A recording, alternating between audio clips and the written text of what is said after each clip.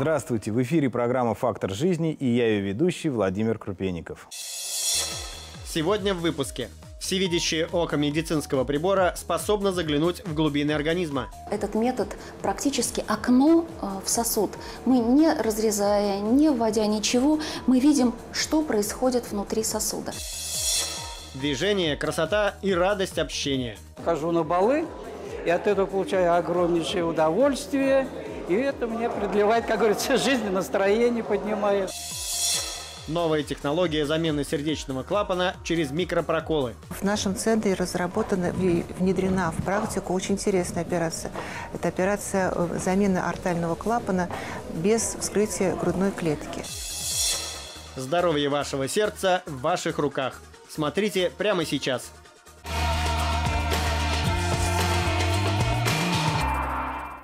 Сегодня гость нашей студии Фаиль Таипович Агеев, руководитель научно-диспансерного отдела э, Российского кардиологического научно-производственного комплекса Министерства здравоохранения Российской Федерации, доктор медицинских наук, профессор.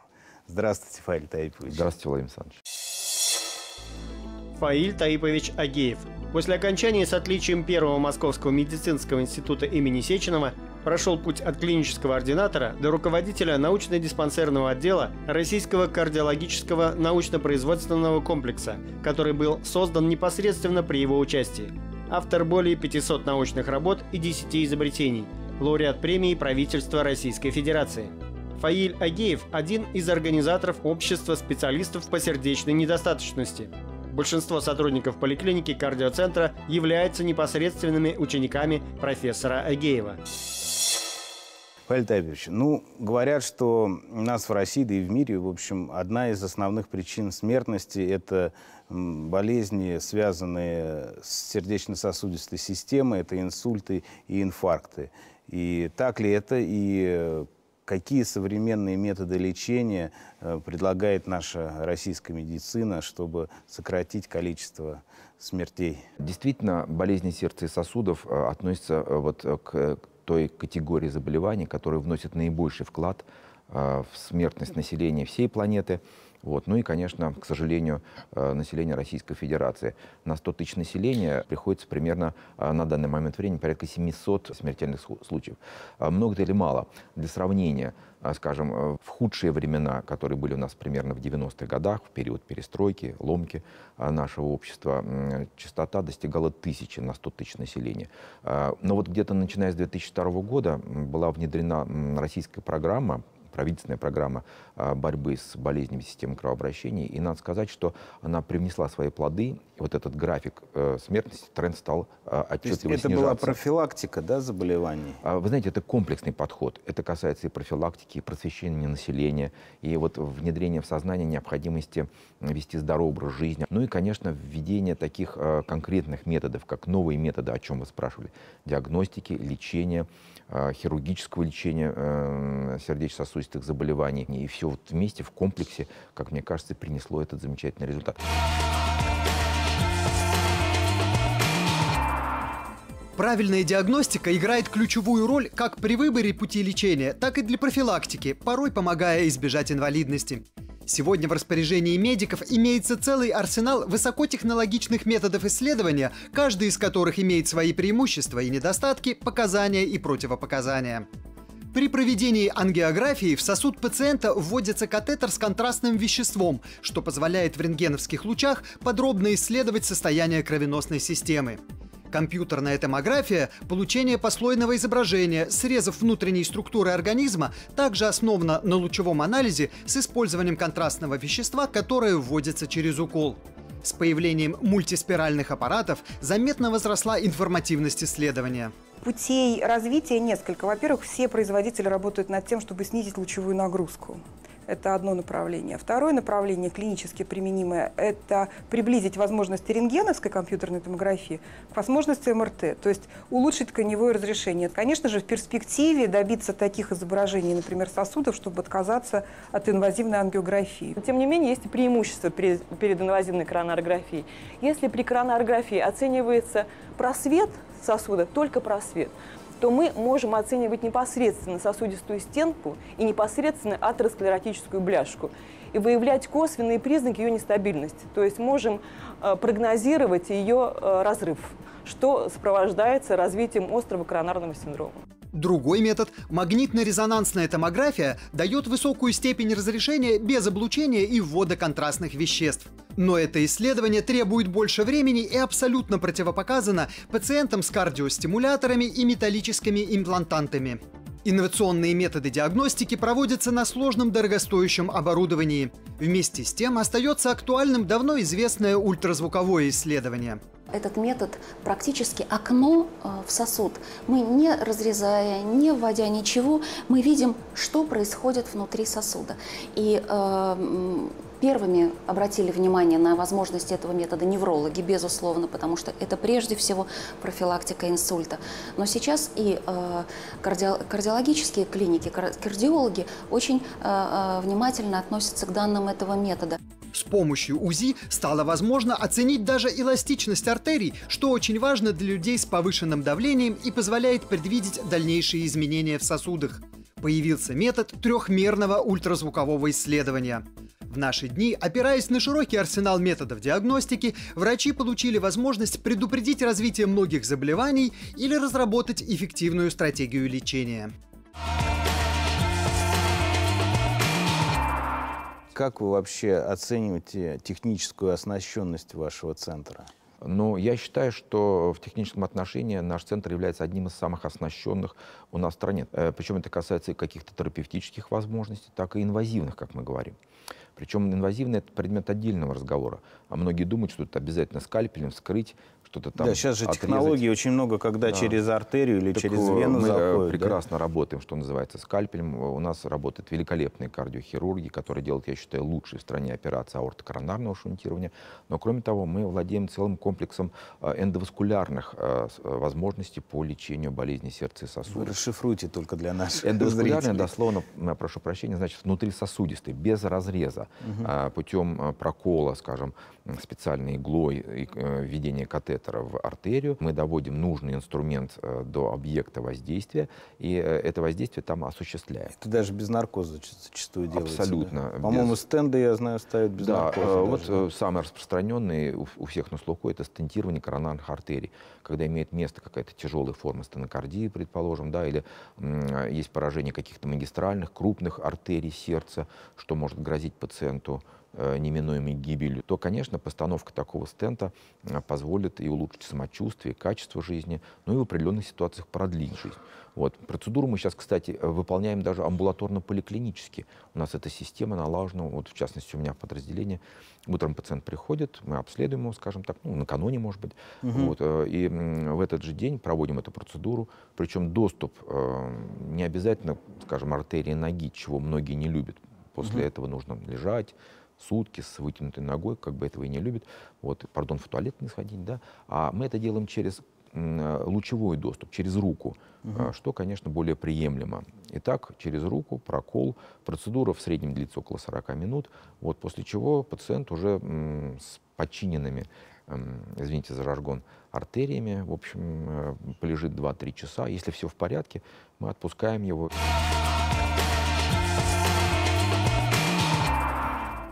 Последние годы на вооружении врачей появились щадящие хирургические методы, позволяющие достичь высоких результатов. Это передняя входящая артерия. Вот видите сужение? А здесь вообще перерыв, да? Вот что приводит к стенокардии или к инфаркту. Видите, вот этот участочек, выгибающей артерии, он почти перекрыт.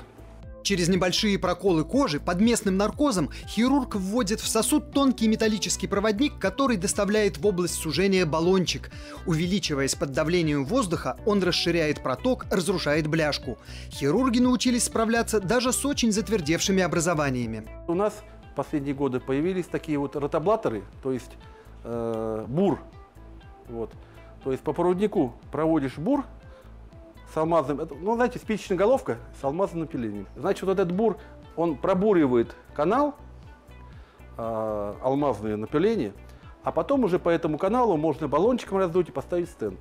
Стенд – тонкая трубочка, состоящая из проволочных ячеек, которая, расширяясь в области сужения сосуда, вжимается в его стенки и восстанавливает проходимость. Это устройство постоянно модернизируют. На его поверхность стали наносить лекарственный препарат, использовать новые материалы. Мы впервые в России э, поставили в 2012 году стенд, который растворяется из полилактида. То есть это не металлическая основа, э, а это полилактид, который в течение двух лет растворяется и уходит. И сосуд остается, он также с лекарственным покрытием. Ну вот после того, как поставили свой стенд, смотрите, этот участок, он полностью расширен, кровоток полностью установлен. Я думаю, что и стенокардия, и все остальное должно пройти. То есть эффект очень хороший. Хороший эффект должен сохраняться долго, но на протяжении еще многих лет состояние здоровья пациента врачи будут держать под контролем. Один из эффективных методов – стресс-эхокардиография. Это одновременное УЗИ сердца, снятие кардиограммы и мониторинг давления и пульса во время физической нагрузки. Мы попросим сейчас пациента крутить педали. Начинайте крутить от себя. Можно набирать чуть быстрее, снимаем э, пациенту КГ и э, также измеряем давление. Но приоритетным методом для нас является все-таки визуализирующий метод. Он более точный, более информативный, более чувствительный. И, соответственно, мы вот будем все это анализировать. Эндоваскулярные, то есть осуществляемые через сосуды операции без разрезов, находят все новые сферы применения. В нашем центре разработана и внедрена в практику очень интересная операция. Это операция э, замены артального клапана без вскрытия грудной клетки. Э, операция интересна тем, что ее можно проводить очень пожилых пациентов. Эти пациенты не переносят тяжелые операции, не переносят наркоз, вернее, не, могут не перенести. И такая возможность э, установки нового биологического клапана без большой операции через сосуды, она, конечно, бесподобна и спасает жизни очень многим пациентам, тем, которым раньше помочь не могли. Скажите, ну вот, насколько я понимаю, один из самых главных врагов сердечно-сосудистой системы – это повышенный холестерин. Э, Ох уж этот холестерин, да. Вот на четыре фактора – это вот э, курение, холестерин, давление и ожирение приходится более 60% э, причин развития инфарктов, инсультов, вообще смертельных осложнений. Представляете, да? Угу. Вот, поэтому и а, работа медицины во многом связана с устранением этих самых факторов риска. Чем потом заниматься высокими технологиями, понятно, легче предупредить. Любой нормальный человек раз в год а, должен проконтролировать свой холестерин. Вы знаете свой холестерин? Да. Вы просто находитесь в той той тонкой прослойки людей, которые реально занимаются собой. Таких, к сожалению, меньшинство. Вот, а надо как бы вот проходить. Э, и это несложно. В любой поликлинике есть кабинеты. И сейчас налажена система диспансерного учета. Было бы желание, стремление быть здоровым, что называется. Дальше давление. Сейчас а, есть способы измерения давления в домашних условиях, автоматизированные эти системы. Сейчас принят некий норматив. Давление меньше, чем 140 и 90 миллиметров ртутного столба, вот тот уровень, к которому должны стремиться ну, практически все. 140 и 90. Но это такие общие рекомендации. Курение, я об этом уже не говорю. Понятно, что отказ вот. Есть такая сказка, что якобы быстрый, резкий отказ это может навредить, что-то да, такое. Да, да, это полное заблуждение полное заблуждение. Важно понять, что само курение, сам факт курения является уже фактором, э, резко ухудшающим всякие прогностические аспекты. Вот, поэтому отказ жесткий, вот, без всяких каких-то. Ну и последнее, это вот, э, очень тесно связаны между собой аспекты, связанные с перееданием, ожирением, с нарушением углеводного обмена. Вот. Очень надежный критерий – это индекс массы тела. А, он должен быть в диапазоне от 25 до 27. Как его мерить? Очень просто. Масса в килограммах тела, поделенная на а, квадрат а, роста, выраженный в метрах. Индекс э, массы тела от 25 до 27. Вот четыре критерия, которые позволяют быть уверенным, что человек находится на правильном пути.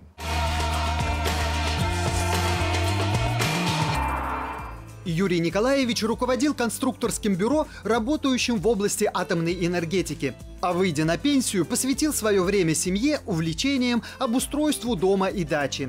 Я себя считаю здоровым, крепким мужиком таким, что умею все сделать руками. Да, вот. ничем не болел, по врачам никогда не ходил. Тут все удивляются, ты что, и кровь никогда не сдавал? Оказалось, да. Я покуривал, и вот как раз, когда я вышел на балконец покурить после обеда, вот тут вот этот спазм в груди, он табак, он вызывает сужение сосудов. Ну, это привело к этому спазму и тому, что я оказался вот тут. Вот. Юрию Николаевичу, можно сказать, повезло. Быстро приехала скорая, которая доставила его в кардиологический центр.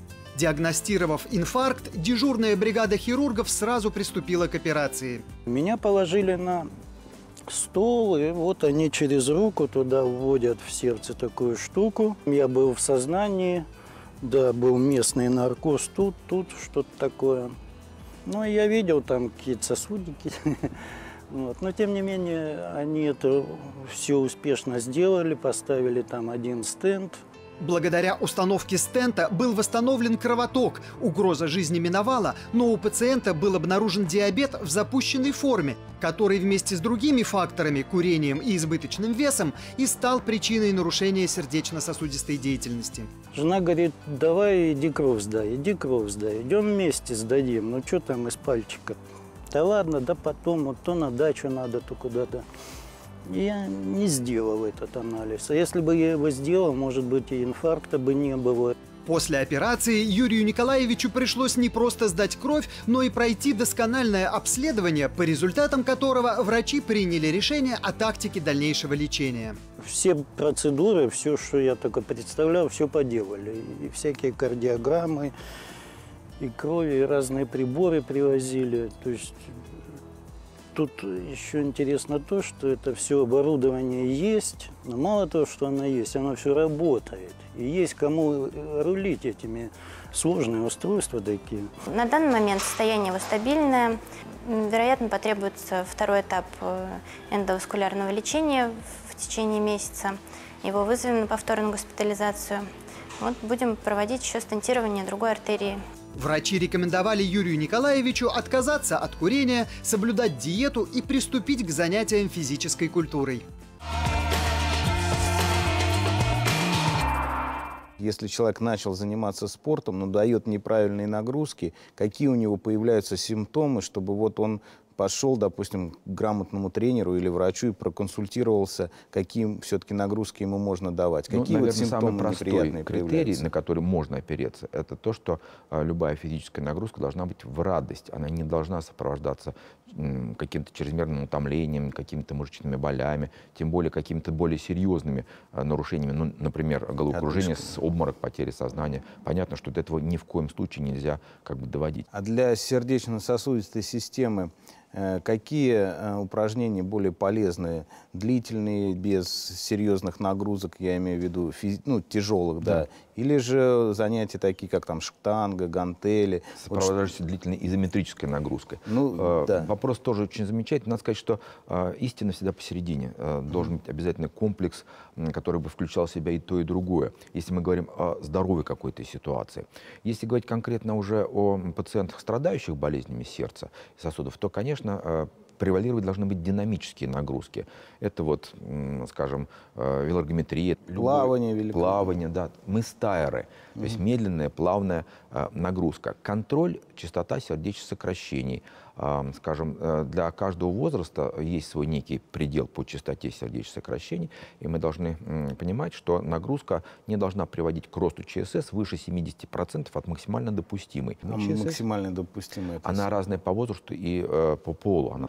Вообще, э, чтобы быть абсолютно уверенным, то вот частота в районе 120 является наиболее приемлемой для большинства.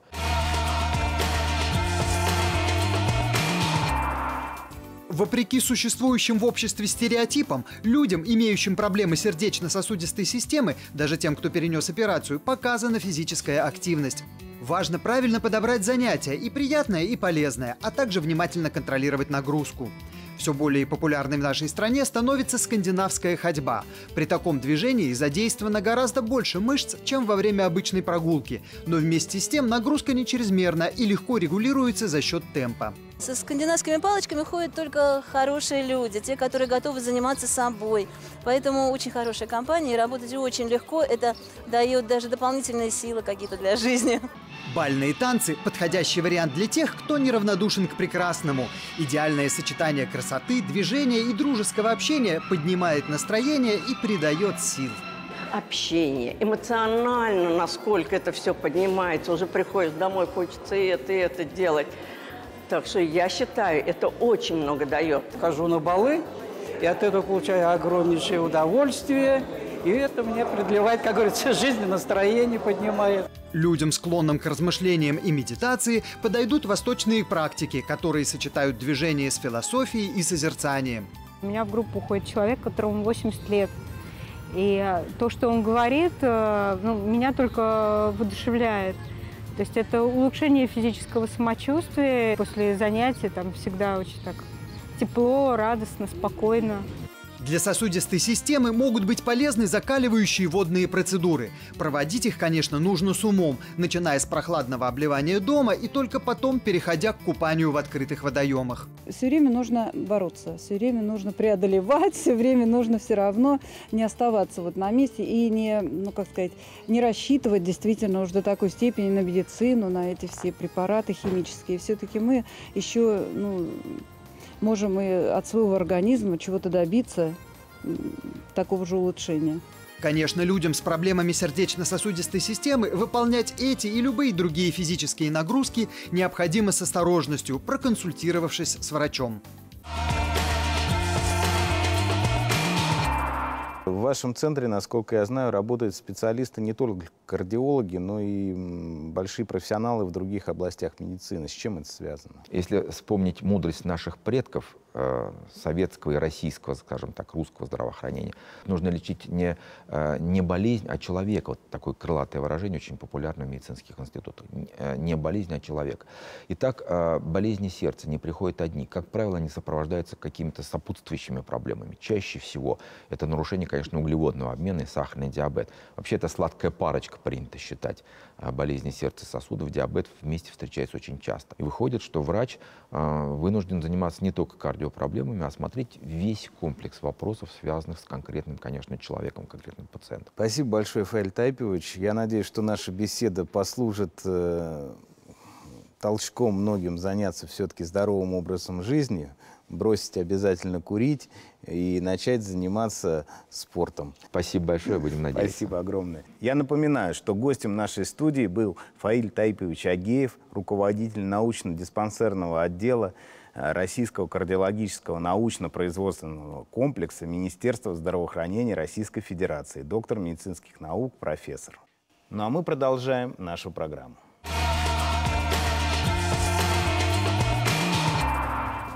Шестидесятиоднолетний Валерий Щенков с легкостью взбирается в кабину легкомоторного самолета. Делать это ему не впервой. В кармане удостоверение летчика-любителя.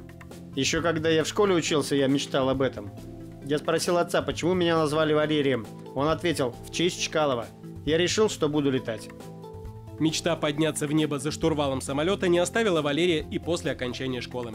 Пока учился в техникуме на зубного протезиста, между лекциями осаждал местный досав. Но кому был нужен глухой мальчишка? Окончил институт, стал отличным стоматологом. Открыл собственное дело. Кстати, Валерий Николаевич – единственный глухой человек, который руководит стоматологической клиникой. Но что бы он ни делал в своей жизни, в его голове всегда звучала фраза из известной песни «Первым делом – самолеты». Чтобы стать пилотом, ему пришлось побывать в разных кабинетах. Помочь ему решилась знаменитая летчица Валентина Гризодубова. Она поговорила с кем нужно и посоветовала Валерию Николаевичу обратиться в Федерацию любителей авиации. Уже через несколько месяцев после первого занятия он совершил самостоятельный полет. Прошел учебные тренировочные полеты, налетал 30 часов, сдал экзамены. Прогулки под облаками для него не праздное увлечение. Несколько лет назад он защитил звание кандидата в мастера спорта день, когда наша съемочная группа приехала на аэродром под Коломной, Валерий Николаевич принимал участие в соревнованиях по авиаралли. Если у человека есть э, мечта, и если он свою мечту воплощает вне зависимости от своих физических качеств, вне зависимости от а, сложности этого процесса, то можно всегда снять шляпу перед этим человеком, потому что он действительно идет к тому, что ему нравится. Валерий Николаевич никогда не считал себя человеком с ограниченными возможностями. Брал любую высоту, которую ставил перед собой. Такое впечатление, что он никогда не бывает в плохом настроении. Каждый полет комментирует поднятым вверх большим пальцем. Мол, все хорошо, и так держать. И на сегодня это все. С вами был Владимир Крупенников. Пишите нам, звоните, адрес и телефон на экране. 115-184, Москва, улица Большая Татарская, дом 33, строение 1. Наш телефон 8 495 656 05 91. Электронный адрес фактор жизни собачка яндекс.ру. Архив программы на сайте inva.tv и на сайте ТВ-центра. Всего вам доброго, увидимся ровно через неделю на канале ТВ-центр.